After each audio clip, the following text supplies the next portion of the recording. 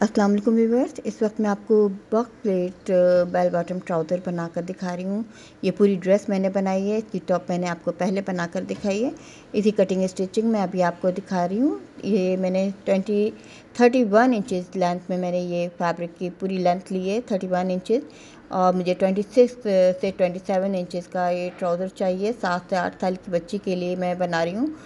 ये सबसे पहले हम बैक साइड इसकी कटिंग करेंगे, इसकी क्रोच लाइन हम लेते हैं। सबसे पहले हम ऊपर से फोल्डिंग करने के बाद इसकी क्रोच लाइन तैयार करेंगे।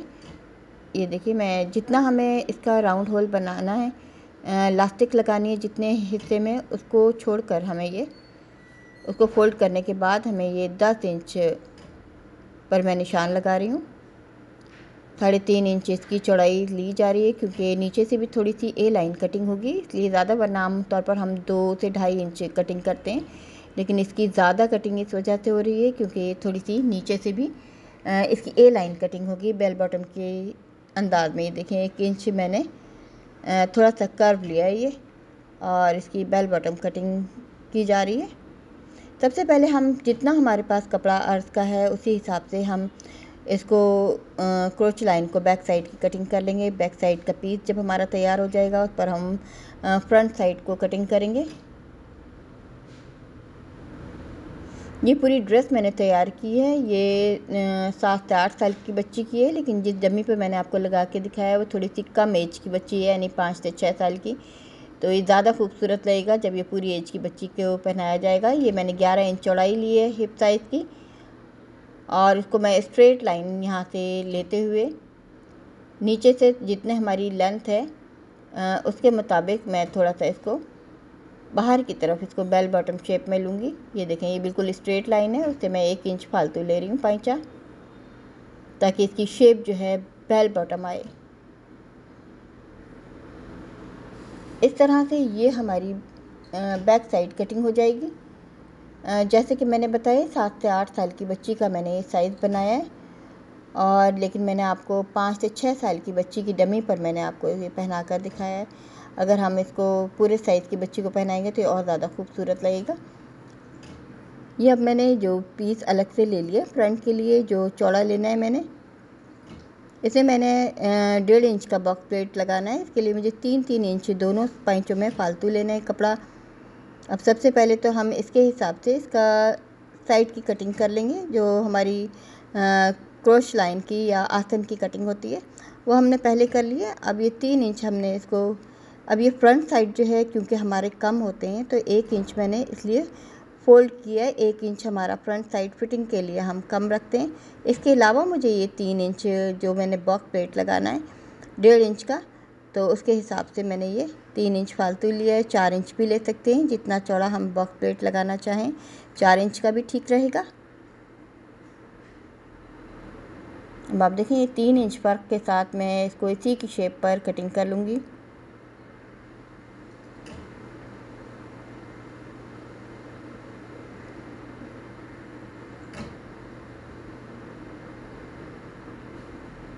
अब ये फ्रंट साइड जो है, जो चौड़ी साइड है, आमतौर पे फ्रंट साइड कम होती है, लेकिन ये चौड़ी साइड जो है, ये मेरी फ्रंट साइड की है।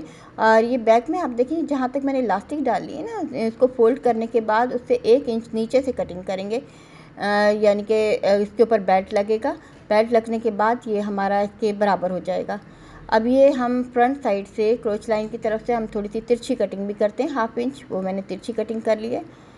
अब आप देखें बैक साइड मेरी बड़ी है। मैंने इतना फालतू कपड़ा कट कर दिया है। बेल्ट लगने के बाद जो कि पूरा हो जाएगा। अब इसका बिल्कुल सेंटर बनाकर हम थोड़ा सा सेंटर के अंदर की साइड पर इसको बॉक्स प्लेट का निशान लगाएँगे। ये देखिए, ये मैंने डेढ़ इंच पर निशान लगाया है।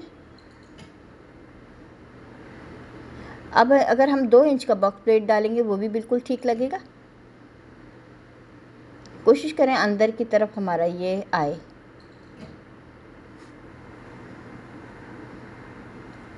अब जब ये हम बैक साइड फोल्ड कर देंगे और वो फ्रंट साइड पर बेल्ट लगाएँगे तो ये हमारा जो है बराबर आ जाएगा। नीचे का पैंचा बारह इंच है, जबकि ये क्रोच लाइन की जगह से ग्यारह इंच है।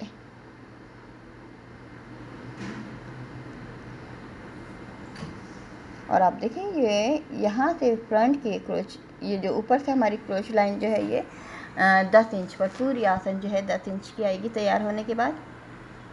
अभी बेल्ट के लिए पीस लेना है हमें। ये बारह इंच का हमें पीस लेना है। बारह इंच का तेरह इंच का हम ले सकते हैं। और इसकी चौड़ाई जो है वो साढ़े चार इंच है। आ, ये तैयार होने के बाद ये साढ़े ये हाफ़ हो जाएगा। हाफ़ अगर हम साढ़े चार इंच का करें तो ये सवा दो इंच रहेगा। तैयार होने के बाद ये तकरीबन डेढ़ इंच। ये क्रोच लाइन की हम सबसे पहले बैक साइड की क्रोच लाइन को हम सिलाई करके तैयार करेंगे। और उसके बाद अब हम लास्टिक डाल रहे हैं।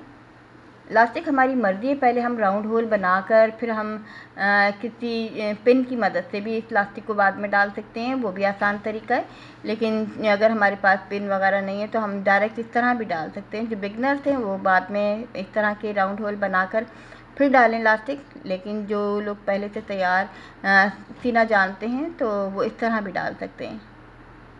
जितनी हमें लास्टिक की ज़रूरत है, इतना खींच लेंगे। बहुत ज़्यादा खींचने वाली लास्टिक है। इसलिए मैंने इसको बहुत ही छोटा रखा हुआ है। तकरीबन छः इंच तक का रखा है। और ताकि ये अच्छी फिटिंग में आए। बच्चे अगर सेहतमंद हैं तो हम थोड़ा ज़्यादा रख सकते हैं। और वीक बच्चे हैं तो हम इसको बहुत कम ही रखेंगे। ये फ्रंट वाली बेल्ट का हिस्सा कुछ बैक साइड पर भी जाता है, ताकि फिटिंग फ्रंट साइड की अच्छी आए। इस तरह से देखें, दो लास्टिक तीन लाइनें मैं डाल लूँगी। जो हमारी मर्ज़ी है, जितना हम डालना चाहें फिर साथ के साथ मैं इसे सिरों को पक्का भी कर रही हूँ। बस डायरेक्ट लास्टिक डालने में थोड़ी सी इस तरह मुश्किल पेश आती है, उसको खींच कर लेते हैं और इस बात का ख्याल रखते हैं कि हमारी सिलाई जो है वो लास्टिक पर बिल्कुल भी ना आए। अगर लास्टिक पर सिलाई आएगी तो हम, हमारी चुने जो हैं वो इस तरह से बैलेंस तरीके से नहीं आएँगी।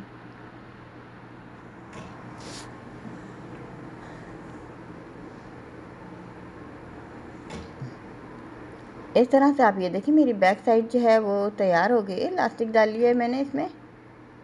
तकरीबन छः से सात इंच मैंने बैक साइड का हिस्सा रखा है।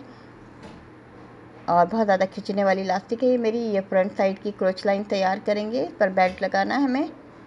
बहुत ही आसान सा ट्राउज़र है, जल्दी से सिलने वाला है। अभी हम बॉक्स प्लेट डालेंगे। ये बॉक्स प्लेट जो है वो नीचे की साइड पर आएगी। सिर्फ़ ये हमारा ये सिरा जो है ऊपर की साइड पे इस तरह से खुला हुआ होगा। अब ये दोनों साइड पर बॉक्स प्लेट है। कोशिश करें कि ये सेंटर के करीब ज़्यादा हो। बल्कि अगर पाइंचे का अगर हम हिसाब रखें कि पाइंचा नीचे से पाइंचे का अगर हम जो हमारा बारह इंच का पाइंचा है, उसको अगर हम हाफ़ कर लें तो ज़्यादा बेहतर है। तो बिल्कुल ये हमारा बॉक्स प्लेट जो है फ्रंट साइड पर सेंटर में आएगा। बॉक्स प्लेट को इस तरह दाएँ बाएँ फैलाकर हम सिलाई कर लेते हैं।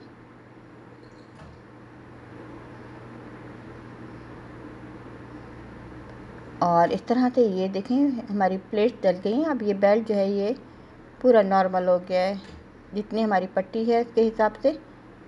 अगर हमारा कपड़ा सॉफ्ट है तो हमें इसमें लाइनिंग लगानी चाहिए बेल्ट में। लेकिन चूँकि ये मेरा थोड़ा सा कपड़ा जो है, वो थोड़ा सा मोटा स्टफ़ है और ये कॉटन है। तो इसलिए मैंने इसमें बेल्ट में लाइनिंग नहीं लगाई है। ये देखिए, मैं इसको डायरेक्ट तैयार कर रही हूँ। अगर चाहें तो हम इस पर बेल्ट लगाने के लिए हम इसमें स्टेप भी लगा सकते हैं, अगर हमें अलग से बेल्ट लगाना है फिटिंग के लिए। अगर हमें डर हो कि ये लूज़ रहेगा या पहनाने में ठीक नहीं है तो हम साइड में इस तरह के स्टेप लूप की तरह से स्टेप लगा सकते हैं, ताकि हमें इसमें बेल्ट डालकर इसको फिटिंग भी दे सकें। अब ये साइड की सिलाई हो रही है।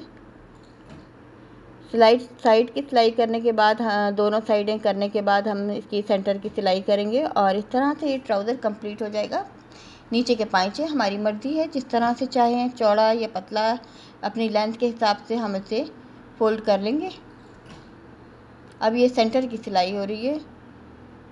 क्रोच लाइन जैसे कि आपने देखा, मैंने पहले से इसको सी लिया था।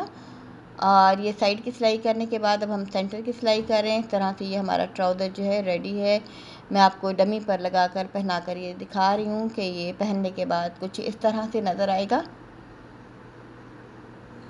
और ये थोड़ा सा बड़ा साइज़ है, जो छोटे साइज़ की डमी को मैंने पहनाया है तो ये और ज़्यादा थोड़ी सी शॉर्ट आएगी ये, जो ब्लाउज़ है थोड़ा सा और शॉर्ट है और ये ट्राउज़र भी थोड़ा सा ज़्यादा डमी को बड़ा है तो ये पहनने के बाद थोड़ी सी बड़ी बच्ची को, यानी कि सात आठ साल की बच्ची को बहुत ज़्यादा ये फिटिंग में अच्छा परफेक्ट आएगा। उम्मीद है आपको डिज़ाइन अच्छा लगेगा और चाहें तो आप बना सकते हैं।